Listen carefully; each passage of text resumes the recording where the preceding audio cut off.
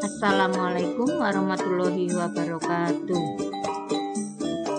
Sugeng pinanggi malih ing pawucalan basa Jawa. Ing dinten menika kita badhe gladen ngenani unsur intrinsik wonten ing cerita rakyat ingkang irah-irahanipun asal usul guwa ngerong.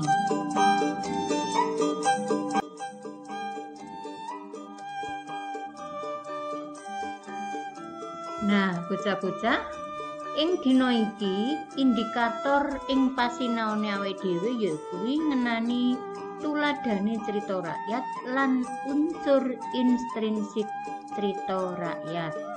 Apa sing diarani cerita rakyat kuwi?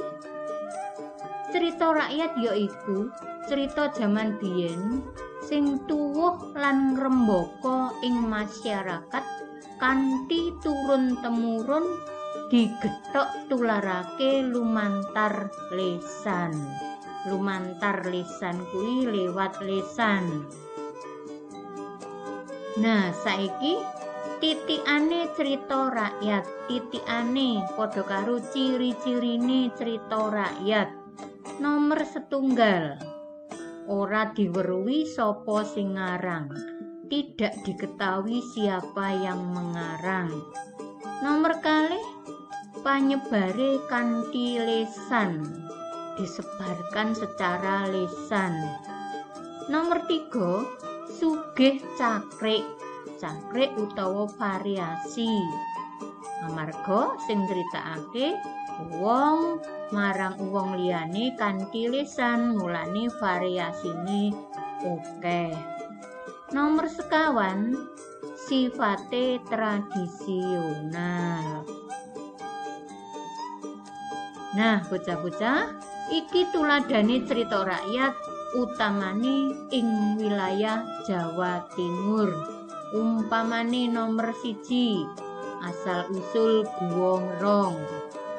Terus maneh asal usul Surabaya, asal usul Gunung Kelut, Lanjar Maibit, Angkling Darmo telogo pasir ande-ande lumut lan sak panunggalane.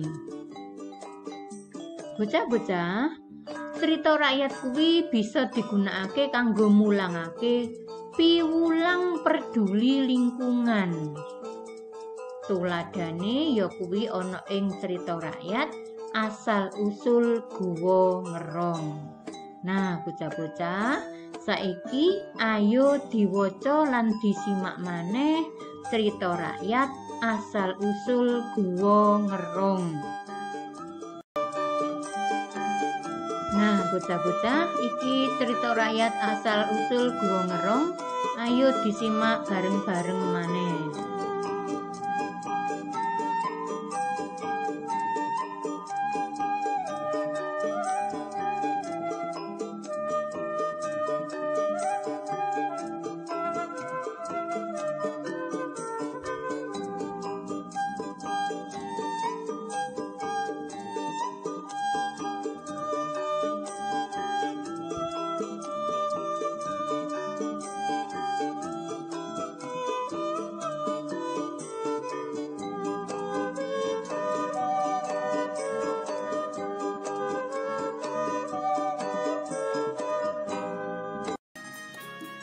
Sabanjure ya kuwi unsur intrinsik cerita rakyat.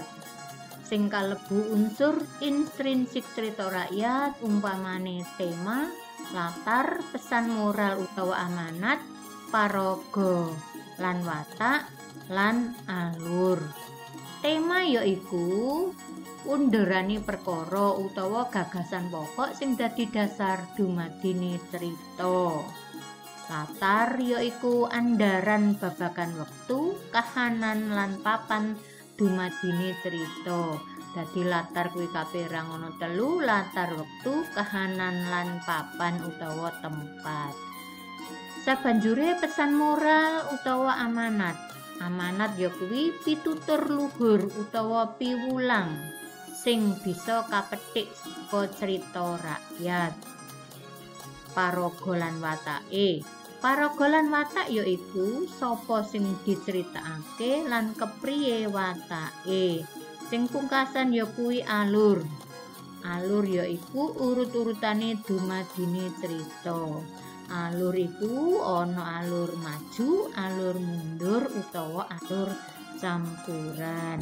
Nah, bocah-bocah sakwise mangerteni unsur-unsur intrinsik ana ing cerita rakyat, saiki ayo goleki bebarengan unsur intrinsik apa wae sing ana ing cerita rakyat asal usul guwa ngerong. kanthi gladen bebarengan ngrampungna pitakon-pitakon iki. Coba disimak.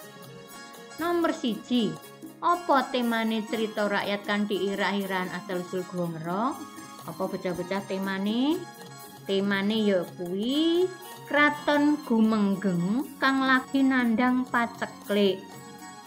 amarga paceklik tetanduran lan satu kewan padha mati amarga kurang banyu lah iki tema nomor siji nomor loro kapan wektu kedadian cerita kapan wektu? Nomor loro kuwi ya kuwi latar latar waktu kedadiane kapan? Bocah-bocah. Kedadiane ya ya iku dek jaman biyen.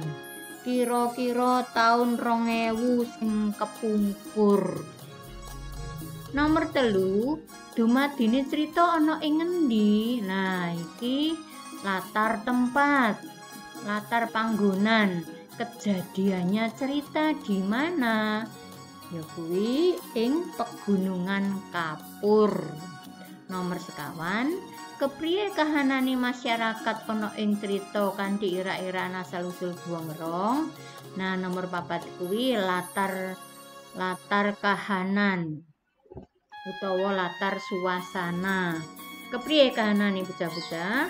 Kahanane ya kuwi prihatin susah lan nandang paceklik Nomor 5, apa amanat sing bisa kapetik saka cerita rakyat kanthi ira-iraan asal usul guwongrong?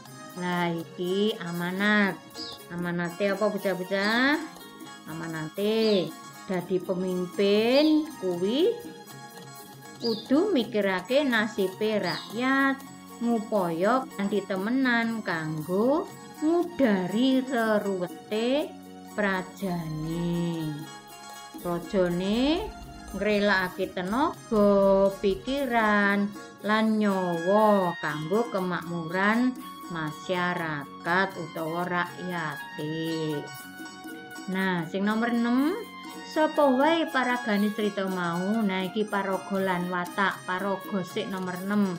Paragane sapa mau ing cerita asal-usul ngerong?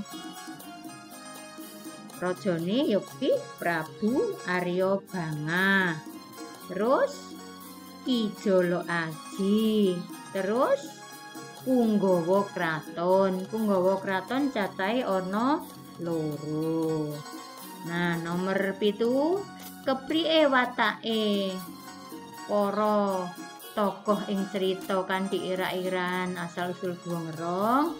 Lah nomor 6 pitu iku uh, paraga lan watake. Umpamane nomor pitu Prabu Arya Bangah, watake piye bocah-bocah? Bijaksana, rela berkorban, bekerja keras. Nah, iku watak sing apik. Terus tokoh sabanjure Ki Jolo Ijo, kepriye watake? Ki Jolo Ijo watake disiplin, patuh.